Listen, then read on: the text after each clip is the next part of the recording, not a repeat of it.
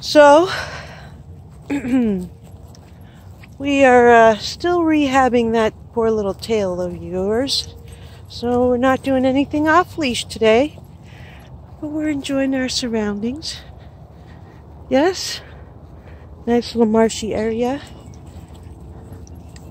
The field in between.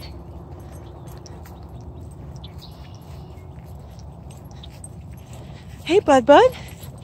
I know you'd rather be free, but you're a hurt dog. Look at that tail. It's doing better. If you ever wondered if dogs get sciatica, they probably do. And this one, this one is uh, not immune to it. It's happened before for him. And now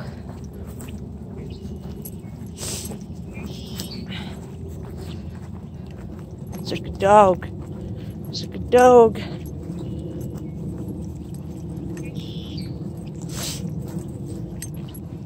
Good boy.